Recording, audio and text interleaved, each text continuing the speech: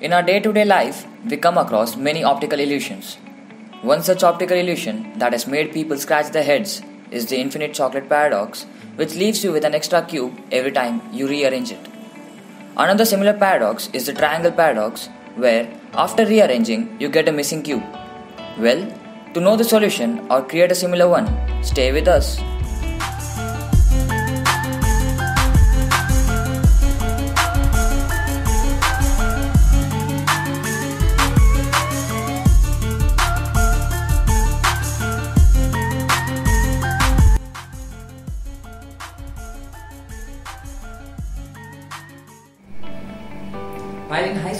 We came across this problem which bamboozled us and curiosity arose within us to know its solution. So we started surfing about it and we were unable to find a convincing solution. So this video is a mere attempt to make you understand this. These problems are based on Curry's paradox according to which we assume something to prove the other thing. For example, if this sentence is true, then the sun revolves around the earth.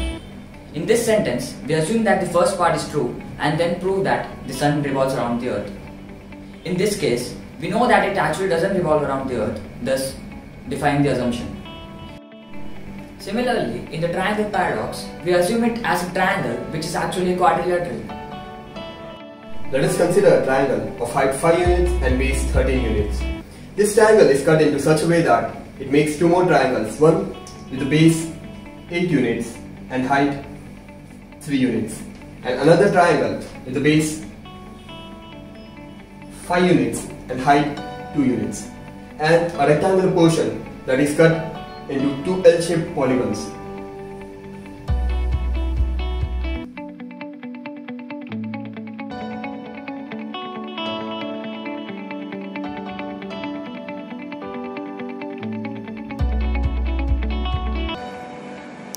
Upon rearranging this, we can see a significant area apart from the triangle and there's no more a missing cube.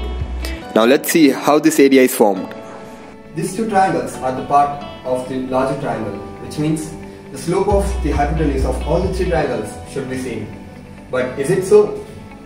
The slope of the smaller triangle is 2 by 5, which is equal to 0.4, while the slope of this triangle is 3 by 8 which is equal to 0.375 and slope of the large triangle is 5 by 13 which is equal to 0.3846 and it will be going on.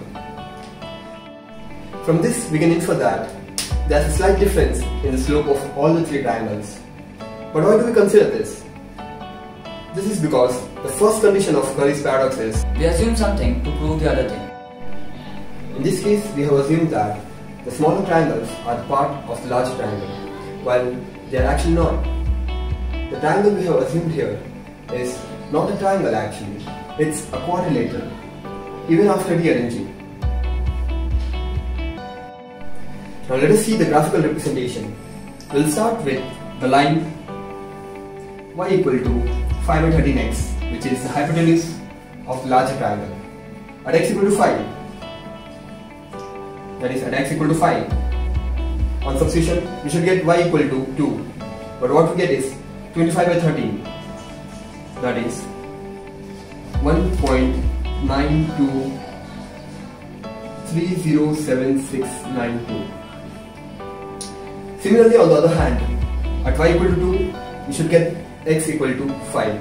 But what we get is x equal to 5.2. So is this strip the reason behind the missing cube? No, it isn't. We haven't considered the other triangle, according to which at x equal to 8, which is the base of the other triangle, we should get y equal to 3. But what we get upon substitution, is 8 into 5 by 13, which is equal to 3.07692308. I know it's a large number.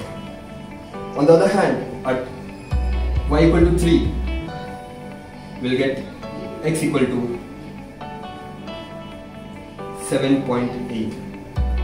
So when we add both the areas, we may get the missing area.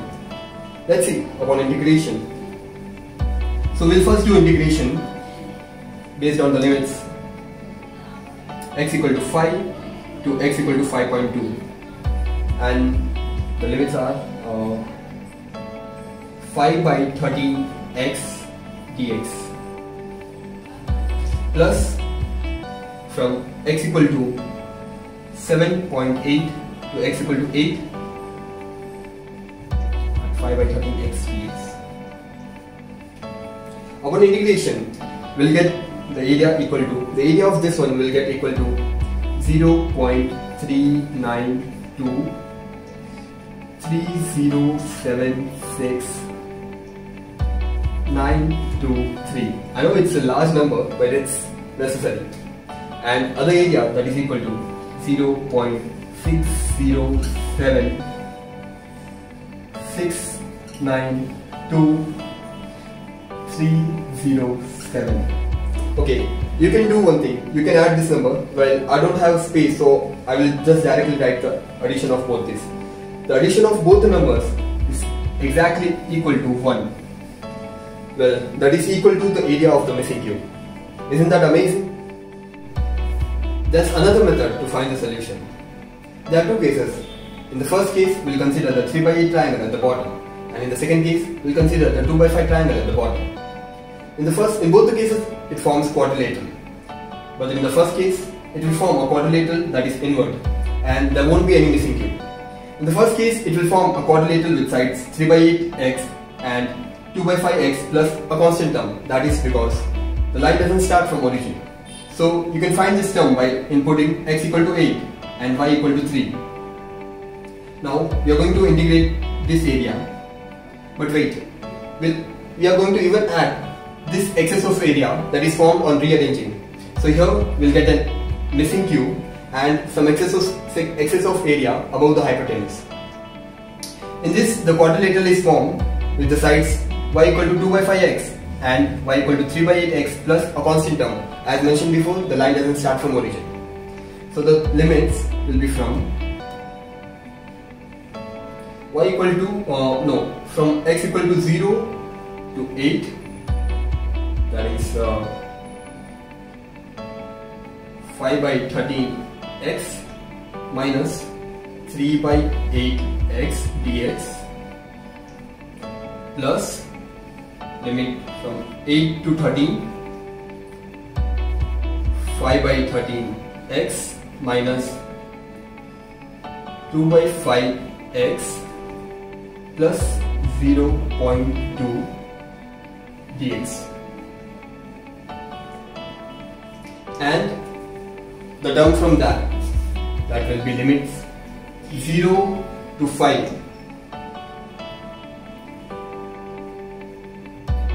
and here we'll start with 2 by 5x minus 5 by 13 x dx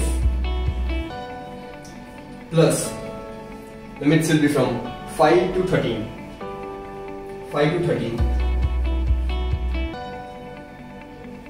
3 by 8 x plus 0.125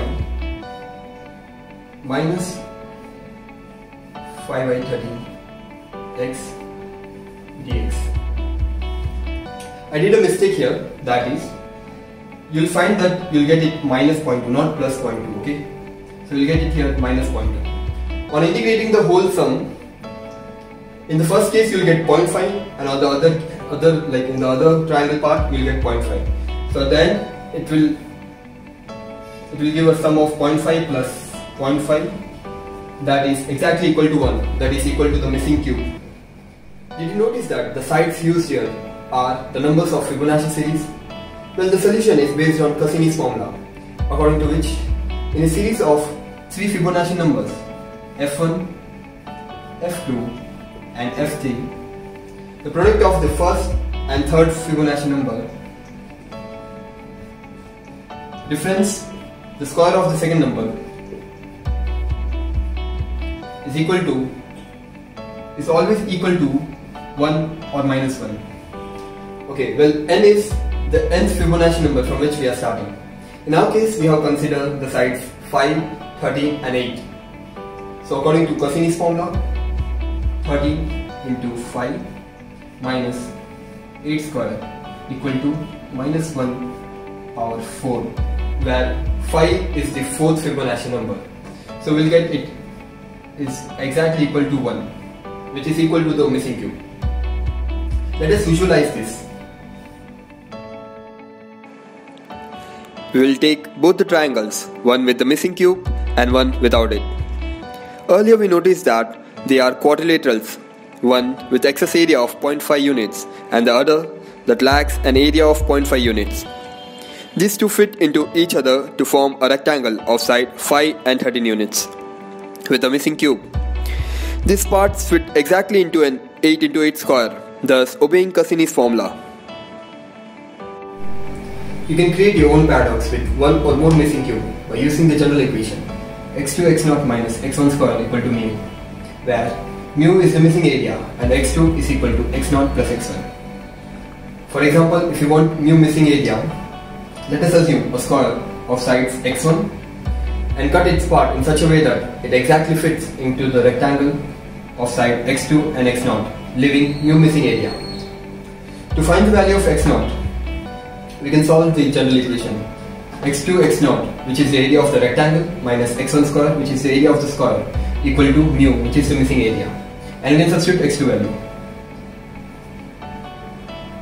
Similarly, in the infinite chocolate paradox, the bar is cut in such a way that the side to be replaced is smaller than the existing side, thus making the rectangular chocolate bar smaller. The missing area is compensated by the extra cube.